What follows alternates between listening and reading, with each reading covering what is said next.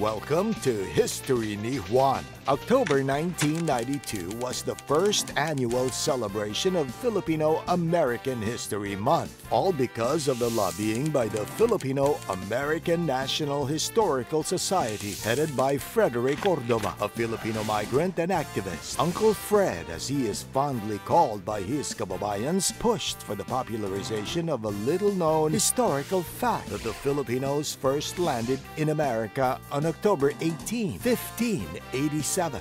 In 1982, he founded the Filipino American National Historical Society, which advocated for economic justice, racial equality, and ethnic identity. Since then, the organization has worked hard to push for the advancement of Filipino Americans and to preserve Filipino American history. For their efforts, the Filipino American National Historical Society became the recipient of the Alex Esclamado Memorial Award for Community Service in August of this year. Discover the wonderful history of the Philippines only on History ni Juan.